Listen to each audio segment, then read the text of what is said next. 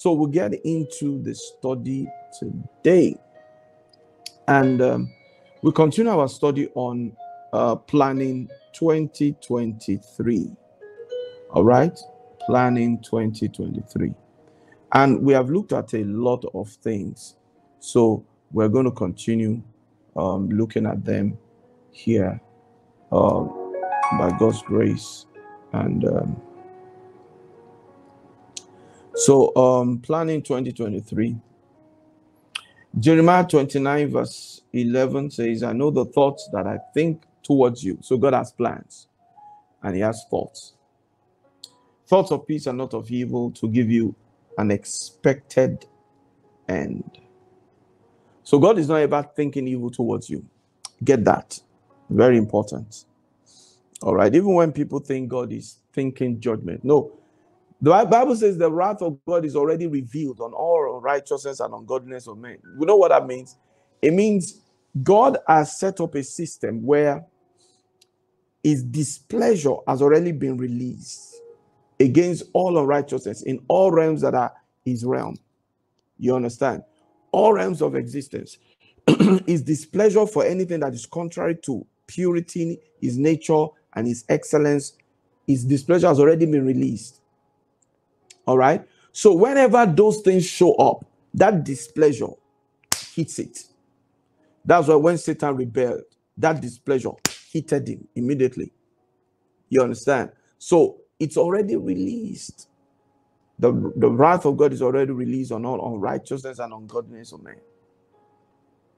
So God is not sitting down now and thinking evil towards anybody. No. And most of the time, when prophets come and prophesy that, oh, this is going to happen because uh, a prophecy of judgment, they are just announcing what the wrath of God is going to do if the person doesn't repent. So, but consistently, what is in the thought of God for people are peace. If they will accept His will, you understand? And 2023 is just uh, right in front of us. We need to get ourselves ready. And we've been looking at this, and I need you to listen today and go and put to practice these things. Please do it. A plan is a map from where you are to where you are going. Don't forget we said that. A plan is a map from where you are to where you want to go. In those days before we have um, all these GPS, Google Maps on our phones, you get a physical paper plan. Or sorry map. And when you get the map you begin to look for where you are going. So if you're going to the city center you are able to see the city center. You're able to see the street you want to go. Then the next thing you have to do is now locate where you are. Where are you on this map? So you ask around excuse me uh, what's this place called? Oh this place is called so and so. So you go and look if you look at some of the maps you see on the walls and the um, lobbies and the um, elevator lobbies of hotels, they always say this is where you are. You see a map, you know, because that's an escape map, so that in case of emergency, you know where to turn. So when you look at the map, you see that red spot that is star, that's where you are in that building. Because they know that you will not be able to locate where you are supposed to go if you don't know where you are. Where you are is so important. And a lot of times People ignore that. They are looking at where they are going, but they are not looking at where they are because you can only plan properly from where you are to where you want to go. It's going to be difficult to jump into where you want to go if you cannot locate where you are and clearly draw a map, a sorry, a plan, a step-by-step plan from where you are to where you want to go. Very important. So a map is sorry, a plan is a map from where you are to where you want to go. So a plan is supposed to have where you are at the moment and also the place you want to go. Then it is also supposed to have the detailed chart of the paths and steps to where you want to be. So drawing plan must be done with these things in mind. In mind.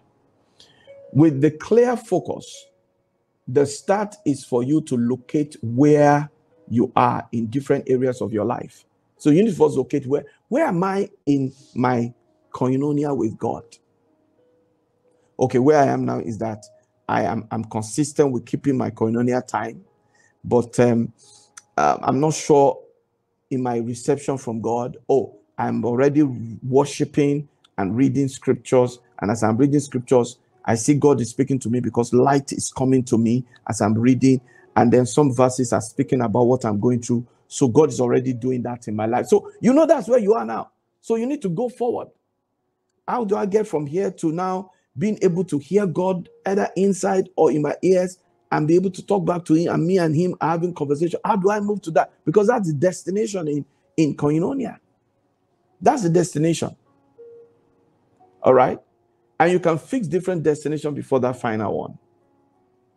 So there's a need to know for each aspect of your life, from your intimate walk with God to your family life, to finance, to health, to work, business, profession, career, academics, to social life, and so on. You need to write down where you were at the beginning of this because that's also important. Because some people don't know where they were some time ago, so they can't measure their progress. How much progress did I make in 12 months? Where was I in my finance in January? How much income was I earning in January?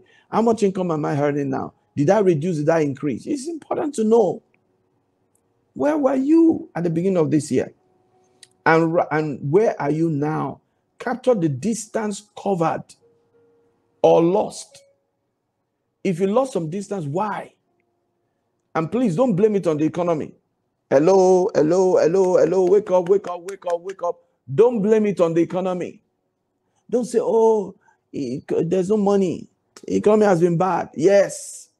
But while others are saying there's a casting down, you are supposed to be saying there's a lifting up. Why are you not saying there's a lifting up? Ask yourself sincere questions. Don't dodge it. Why? Why am I not saying there's a lifting up? Why? When others are cast down, why am I not lifted up? Because I'm supposed to be lifted up. You understand? Why? What is it? Did I reduce in my giving? Because that's very crucial to prosperity for the believer. Did I reduce in my giving? How consistent have I been in my tithing? Those are the things to look at, not to condemn yourself. You don't look at those things to condemn yourself. No, but to look at what am I not doing right? What have I been doing right? Is my economy better? Is my character better? You know, all these things are important. You need to write them down clearly. Capture the distance covered or lost. All these will help you locate yourself properly. Know how far you have come. It will help you to be able to appropriate properly thanksgivings for how far He has brought you and helped you. Because if you're able to know this was where I was at the beginning of this year financially, this is where I am now. I've increased, I've covered some distance. What was I doing different this year? Oh, I was so showing my appreciation to God. I did more confession this year. I personally did more confession this year than any other year. Yes. So you, how far? What what is it? The next thing after because you need to capture where you are properly. How much distance have you covered? How far have you gone? And if you've lost, why? What happened? You understand? Because you're supposed to have made progress. The path of the just. You are the just. And don't let the devil lie to you that, oh, because you are you are not perfect. But no, no, no. You are first the just. Then you have to live like the just. So the first thing is that you are the just. That's who you are. Living as the just is the second thing. The first thing is who you are. You are the just. And he said, the path of the just is like a shining light that shines brighter and brighter. Have you gone brighter and brighter? Or you went dimmer and dimmer? If you went dimmer and dimmer, why? Why were you discouraged? What, what, what happened? You understand? You say, okay, if that's my situation, what will I be thanking God? Thank God that you're alive. Thank God that you are still breathing. Thank God that you have not given up. Okay, what if I've given up? Thank God that you didn't die when you gave up. Some people gave up and lost their brain. They are insane now. They are in, in one mental hospital. Thank God you didn't become, you didn't have stroke, you didn't lose your limb. Give thanks to God. There's something to thank God for in the midst of it all. And then, now, whatever and wherever you are, once you have located it, then you can locate, you can move to where you want to go.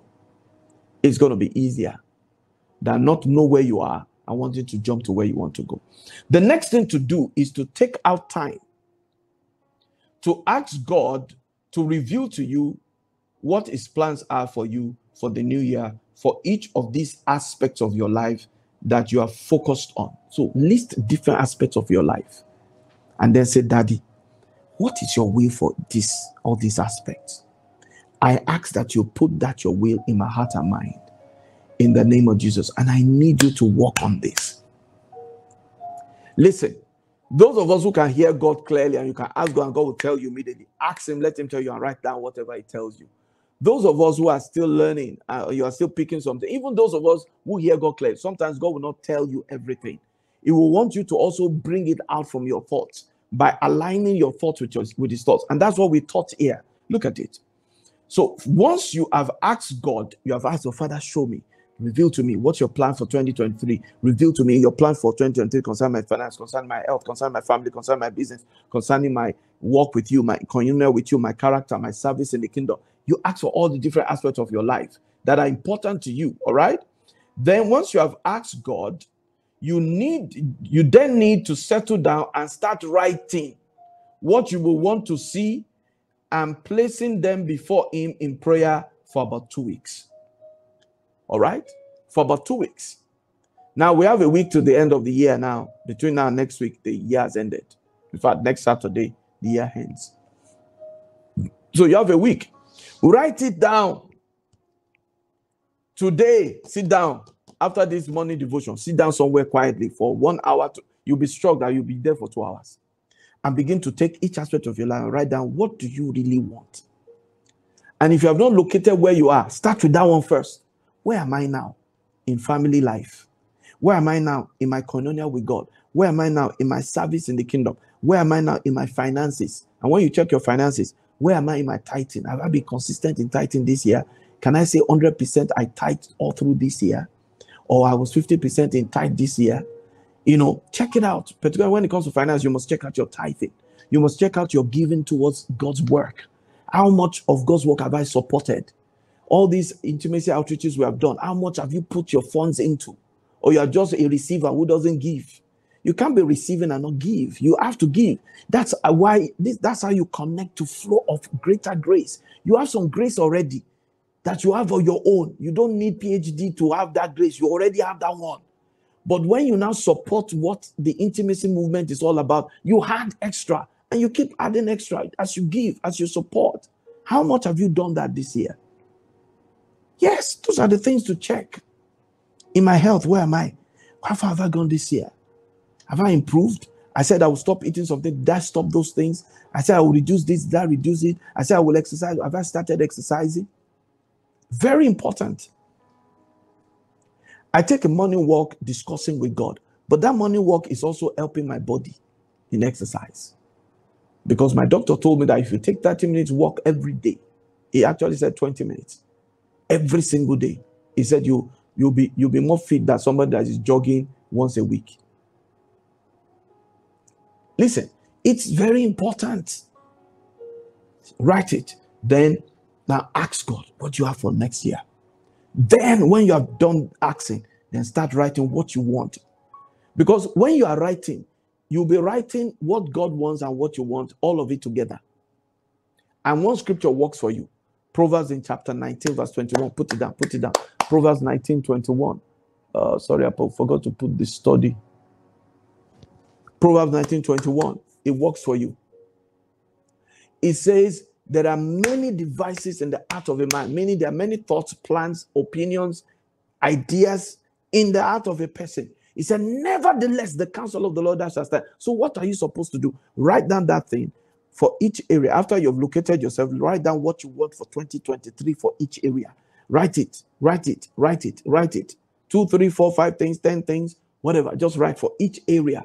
Then, when you are finished writing, now tell God, Daddy, I'm coming back to this. I want all of this to be your perfect will. Then, within one week, because we have one week to the end of the year now, within one week, go back to that thing at least three times. If you can't do it at all, after you write it today, go, go through it again two times at least. But if you can do three times, excellent.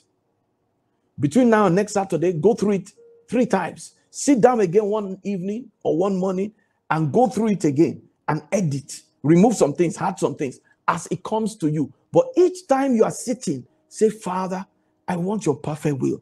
Breathe your thoughts into my thoughts as I refine and re and check through and review these things that I've written for 2023. Those of us who have done prophetic presbytery, write based on that prophetic presbytery too. Make sure those things that God told you in the prophetic presbytery, you had it there. And those who miss prophetic presbytery are going to give one just one more opportunity next Tuesday. All right. Once we get the ministers together, we'll send out the link so you can re-register for that one Tuesday. So look out for that. All right. So you write it. So you go through it three times, reviewing, asking God, Lord, let it be your thoughts. And then you review. While you are reviewing, God will be pouring his thoughts into your thought. At the end of the day, whatever you are finally, after you've checked it twice or three times, it will be the will of God for you. And if any at all is not even the will of God, I tell you, as you are pursuing it, listen very carefully. I'm telling you this. Anything you write there that may not be the will of God, after you have gone through it, review it three times, praying, Father, bring your thoughts upon my thoughts. I want this to be your perfect will for me. And you're just writing from your own thoughts, but you see, he's breathing his thoughts on your thoughts. Are you getting what I'm saying? But if, and I tell you, after three times, it will be the will of God. But in case there's any one of it that is still not the will of God, as you will be pursuing that thing, God will be directing you into his will ultimately. You know why? Because you are seeking his will, it will order your steps.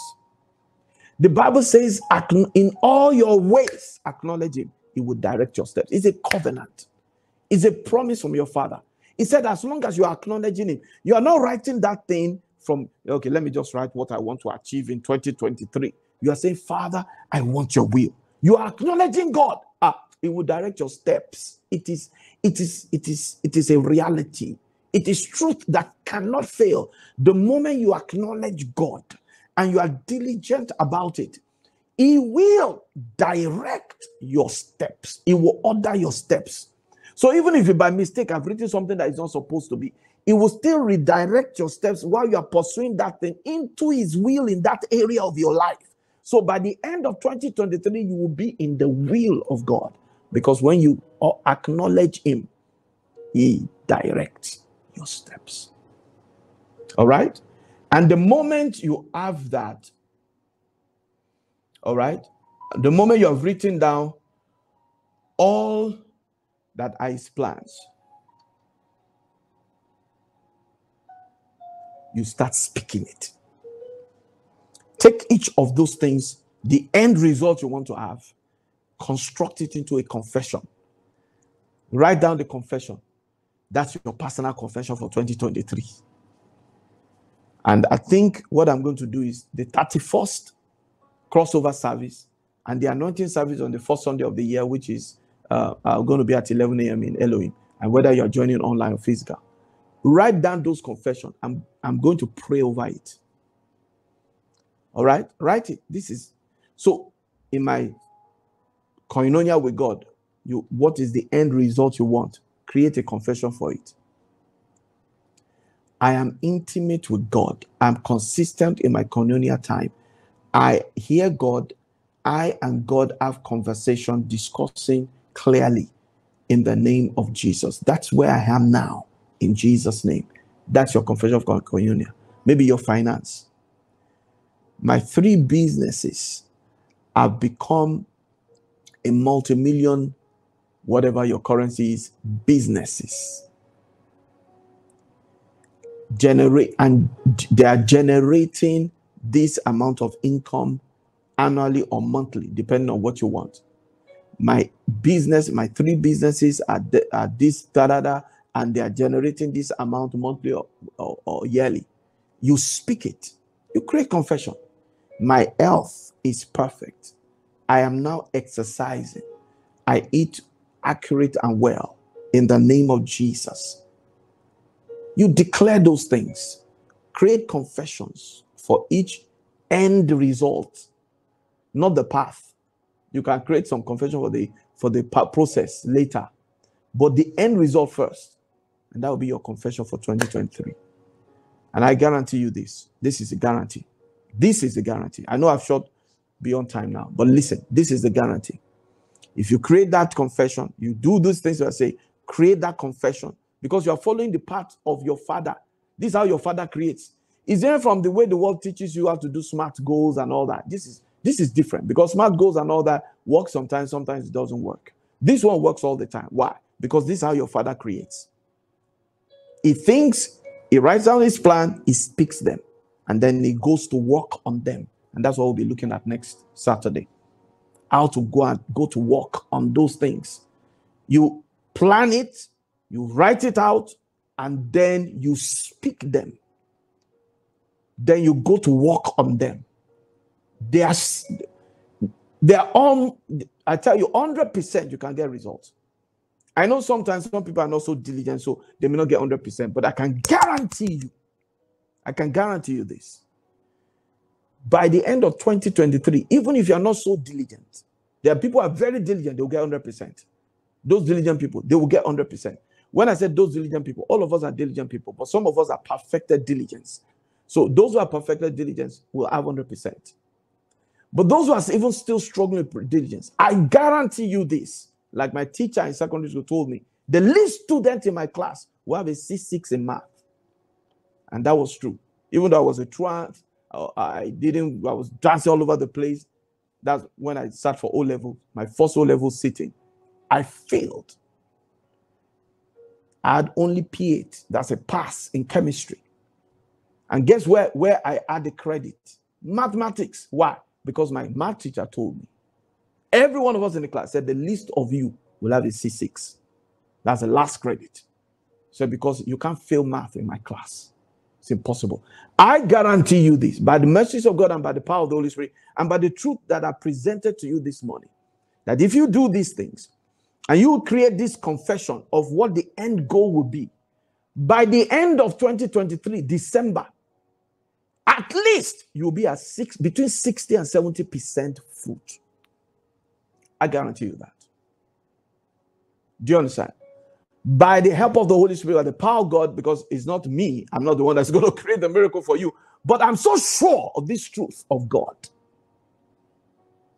And your confession, don't say, I will, my business will be, mm, my, my three businesses are now, and they are generating now this amount monthly and this amount uh, annually, whichever way you want to construct it.